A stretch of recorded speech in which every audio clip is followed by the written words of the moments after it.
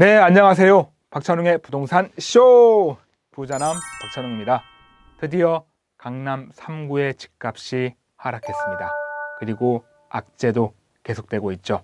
집값이 더 떨어지면 집을 살 수 있을까요? 한국감정원에서 발표한 2020년 2월 전국 주택 가격 동향 데이터를 보고 말씀드리겠습니다. 아, 그 전에 구독하기와 좋아요 꾹 눌러주시고요. 데이터를 보시면 주택 종합 매매 가격 지수다 라고 되어 있습니다. 수도권 같은 경우에 2020년 1월 달에 0.39%에서 2020년 2월 달에 0.51%, 0.12%가 증가를 했고요. 서울은 0.34에서 0.15, 즉 0.19%가 감소를 했습니다. 경기와 인천은 각각 0.3%, 0.23%가 증가를 했고요.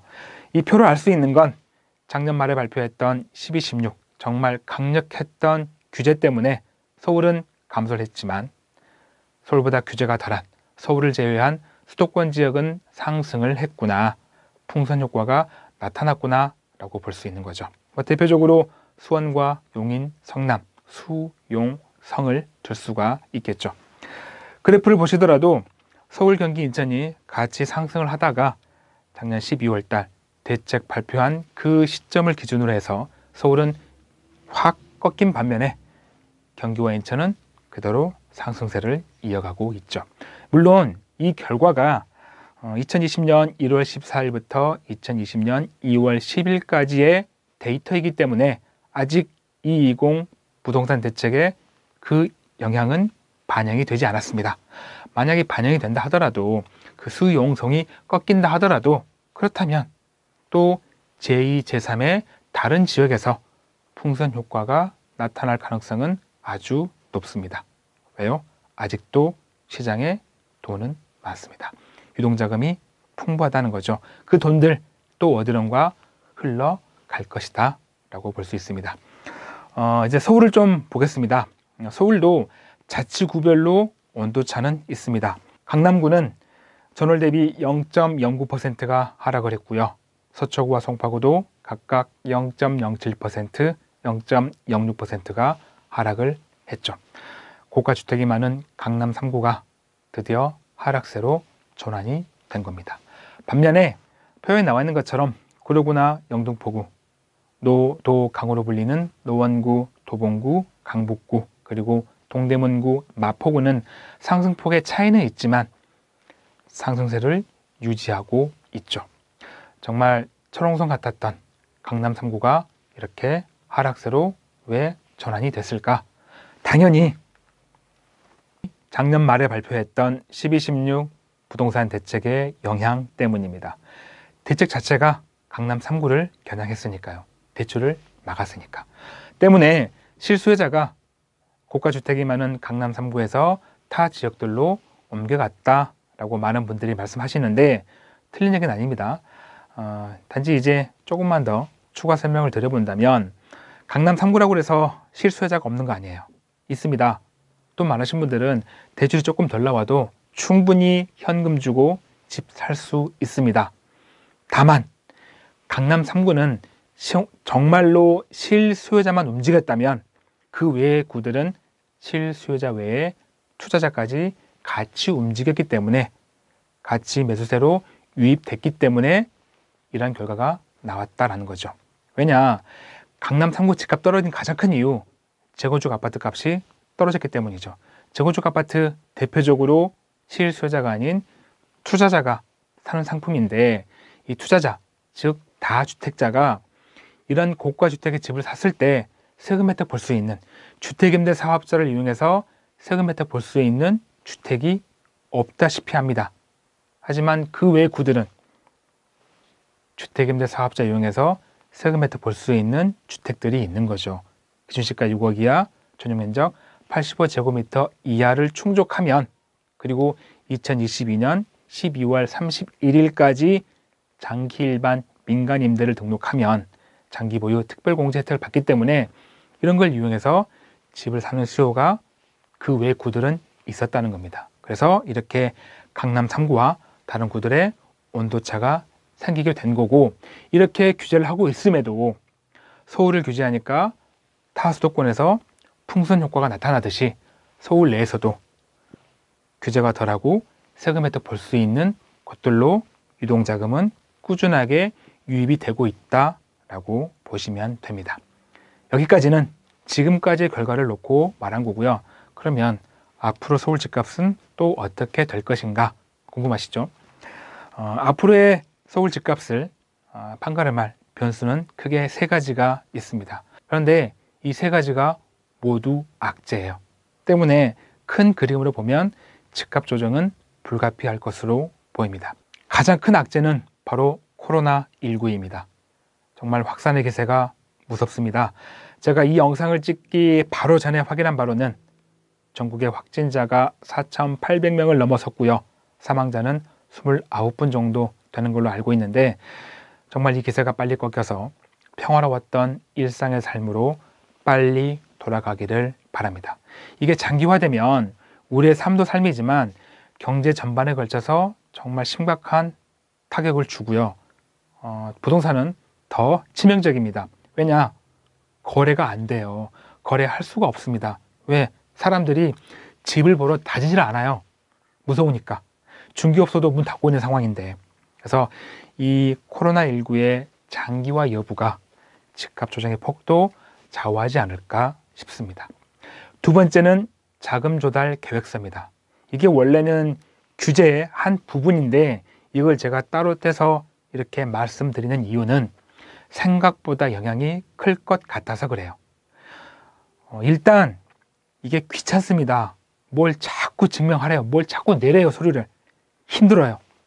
이게 원래는 투기과일지구에서 3억 이상의 집을 살 때 제출하던 건데 이게 규제가 강화돼서 이제는 조정 대상 지역에서 3억 이상의 집을 살 때 그리고 비규제 지역도 6억 이상의 집을 사면 자금 조달 계획서를 제출해야 된다는 거죠. 이번 달부터죠. 그리고 투기과일지구는 9억 이상의 집을 살 때는 최대 15가지 서류를 증명해야 돼요. 증명해야 됩니다. 아, 굉장히 많아요. 제 기억으로 지금까지 살면서 음, 어떤 뭐 시험을 보든 뭘 접수하든 뭘 신청하든 제가 서류를 15개 정도 내본 적은 제 기억에 음, 없어요. 제가 봐왔던 걸로는 국회의원 후보자 등록할 때 그때 서류가 굉장히 많았거든요. 아니 무슨 국가 뭐 보물을 사는 것도 아닌데 이렇게 서류를 많이 내야 될까 싶을 정도입니다. 물론 국토부에서는 그렇게 다 내는 거 아니야. 너가 내는 그 현금에 대해서 너의 자금에 대해서만 증명하면 돼라고 하지만 만약에 현금이 많아가지고 현금 많이 내고 나머지 대출 조금 받고 이러면 간단해요. 그런데 영혼까지 끌어모아서 뭐 이것저것 다 끌어모으고 대출 받고 누가 돈 빌리고 뭐 주식했던 거 뭐 다 끌어모은다면 이걸 다 증명하려면 서류가 굉장히 많아질 수밖에 없죠.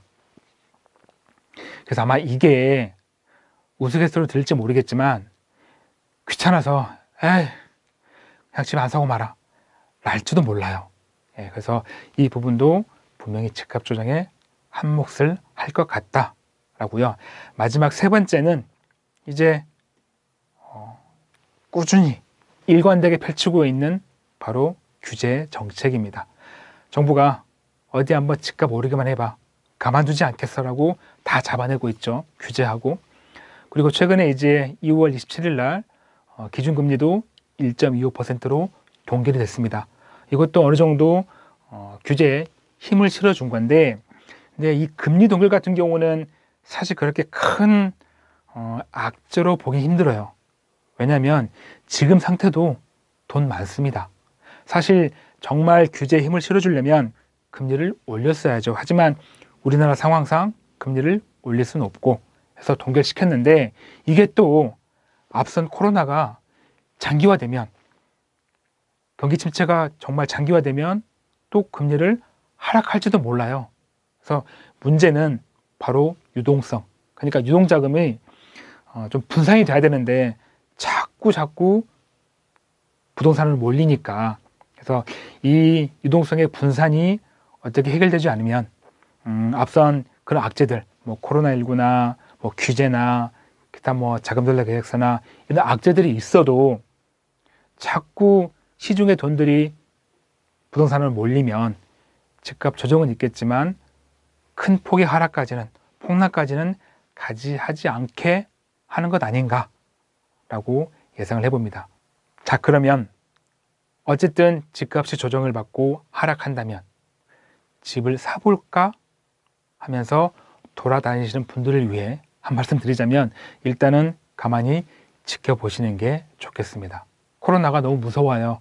이거 다 지나가고 나서 그때 생각해 보셔도 늦지 않습니다.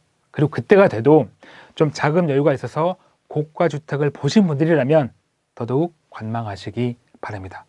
규제가 너무 심해요. 소나기가 세차게 내리고 있는 겁니다. 소나기는 피해야죠. 나중에 조정받고 나서 그때 가서 고민하셔도 늦지 않습니다. 그런데 이렇게 소나기가 내려도 나는 급이 다 맞고 저기 저 앞에 있는 뭔가를 갖고 싶어 라는 분들이 있다면 최소한 우산은 챙기시기 바랍니다. 그 우산은 바로 주택임대 사업자예요. 세금 혜택은 가지고 가야죠.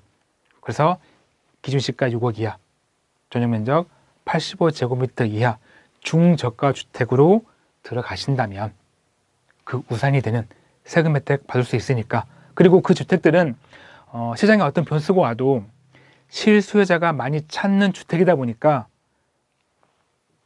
큰 하락이 없는 집들이에요. 좀 안정적입니다. 그래서 그런 집들로 들어가신다면 좋겠다라는 겁니다.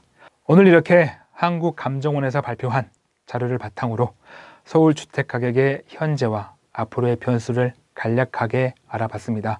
다시 한번 코로나19가 말끔히 없어져서 저와 여러분 모두가 평화로웠던 이전의 삶으로 빨리 돌아가기를 진심으로 바랍니다. 마무리 시간입니다. 저에게 큰 힘이 되는 구독하기와 좋아요, 알림 설정 꼭 눌러주시고요. 저는 다음 영상에도 최선을 다하겠습니다. 고맙습니다.